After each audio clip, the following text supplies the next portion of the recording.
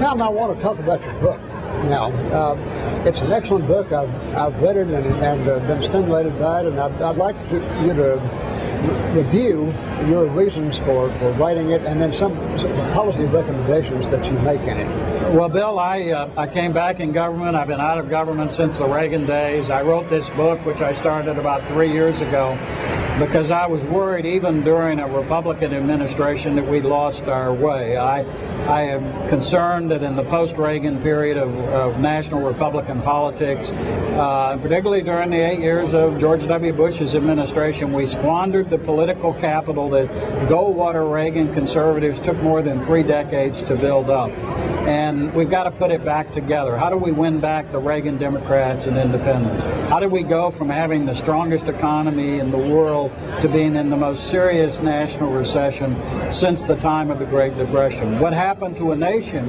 which, after we won the Cold War, thanks to Ronald Reagan's strategy to defeat the Soviet Empire, how do we go from a nation that was the most respected nation in the world to a nation viewed by some so-called expert pundits as in a state of irreversible decline.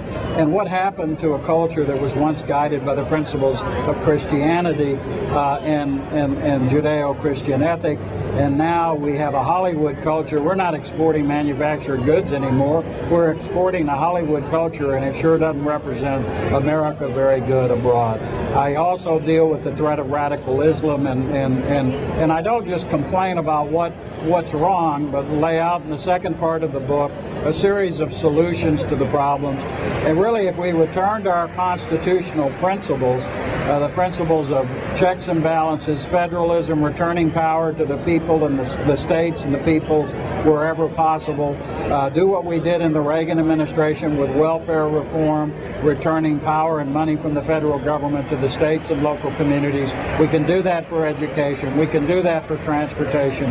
Literally, we can do that across the board on domestic policy, and we need to do it. Government's out of control. The debt levels are too high.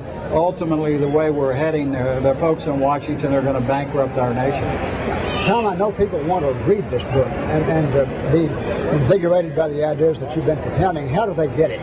They can go to Tom Paul uh, T-O-M-P-A-U-K-E-N. They can see some of the interviews I've had, some excerpts from the book, some of the reviews, American Conservative, uh, American Spectator, Human Events, Booklist have all reviewed it. And also I can order it from Amazon.com. It's called Bringing America Home. I want to recommend it very strongly. It's, it's, a, it's a superb Thank you, Bill. Wonderful statement. Tom, let me ask you one last question. Right. What, what advice have you got from the Republican Party as it gathers here today? Well, uh, yeah, I think we've got to remember an important lesson. Uh, no more or lesser of two evils. Uh, we've got to stand for conservative principles. I started with Barry Goldwater as a young Texan in Washington, D.C. in the Goldwater for President campaign.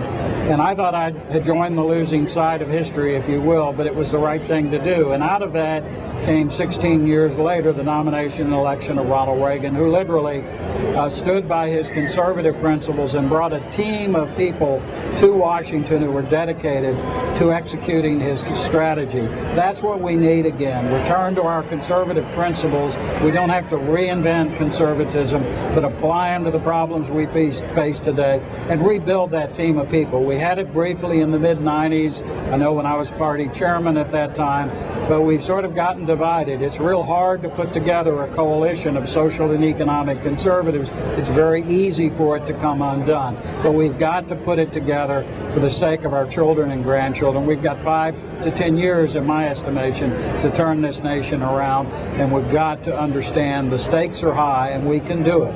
We, we went into the Reagan administration with serious problems, and look at what happened with just four years of good work. We could do it again, but we've got to get the ship of state uh, sailing back in the right direction again. Thank you for that heartening and that challenging message, Tom Pauken. This is Bill Murchison talking to Tom Pauken, chairman of the Texas Workforce Commission and, and uh, author of Bringing America Home.